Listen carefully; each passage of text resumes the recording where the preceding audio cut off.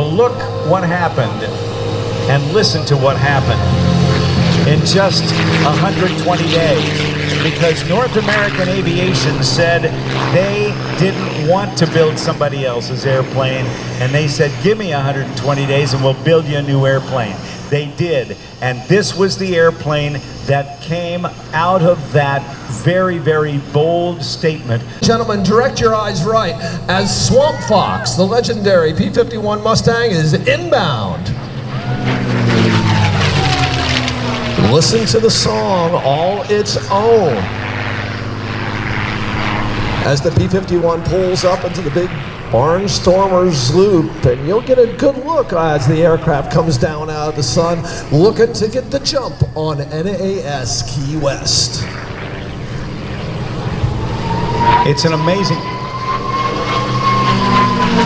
There's the noise, Rob. That's the one you were looking for. it was.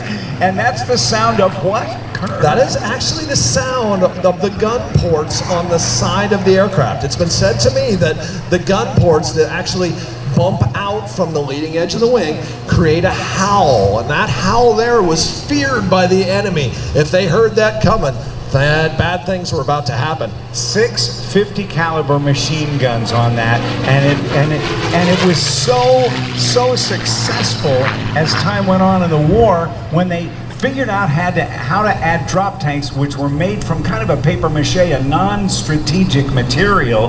They could extend the range and endurance of the P-51 Mustang to not only support and, and provide protection or cover for the bombers that were flying from bases in Europe to targets in Germany and other Axis-held countries, but they could stay aloft long enough to protect them on the way back, and that greatly increased the survivability.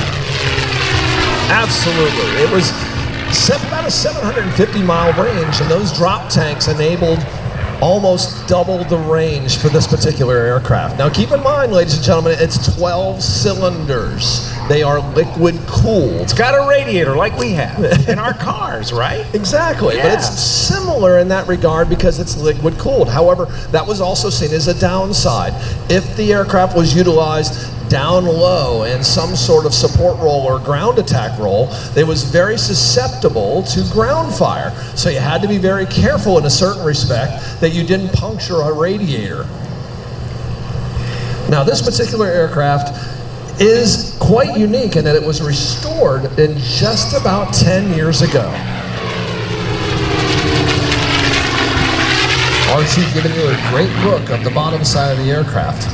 Now, we talked a little earlier, the name of the aircraft is Swamp Fox, and, and that's significant. It is? Why? Why well, is that interesting hurt? that Lieutenant Colonel Will Ford, United States Air Force, now retired, and of course gone as well, is grew up in the Carolinas. He was flying and fighting out of England, and well, Lieutenant Ford thought it would be great to name his plane after a famous American Revolutionary hero out of South Carolina.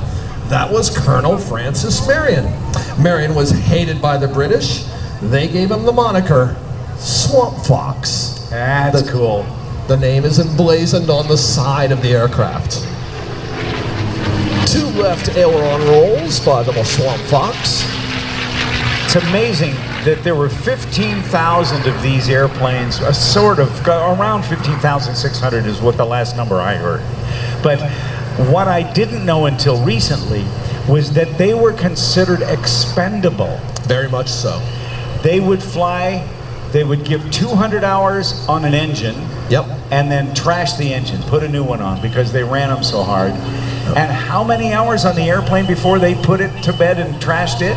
And it wasn't much more. If you think about it, they probably put two or three engine spares on it, and then the aircraft was essentially pushed off for surplus. There's the howl once again. Barnstormers, barrel roll. But it had this this incredible wing design called laminar flow, very fast wing. Yep. And when, when, as you said, the, the, when the, the British engineers paired up that Merlin engine with this airframe, the Mustang as we know it has made... Bringing in the banana pass.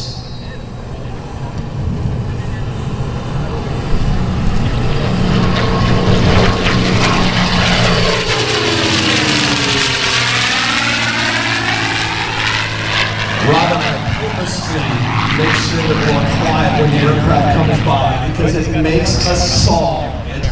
We're actually a stepping stone, advanced trainer T6, into that of the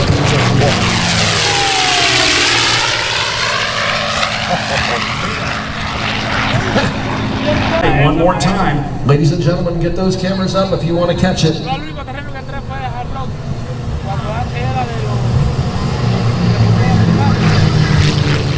And I believe RT is going to go strafe the tower.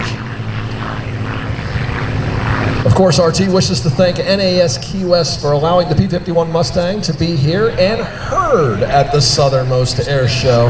Their family very much dedicated to the greatest generation, and that that came from. We actually make a round wing, and the pressure comes out the tail of the aircraft much quicker than it goes in. They called that the Meredith effect. It actually gave them some speed. Kurt Strumpf, thank you very much for being here with RT. I sure appreciate it. We've got stuff coming in from the right right now, but thanks for coming up today. You bet, Rob. Thanks so much for having us today. You bet, sir. Ladies and gentlemen, a nice round of applause for R.T. Dickson and Herc Strump uh, from the uh, P-51 Mustang known as Swamp Fox. Pretty cool stuff if you ask me. Now, we're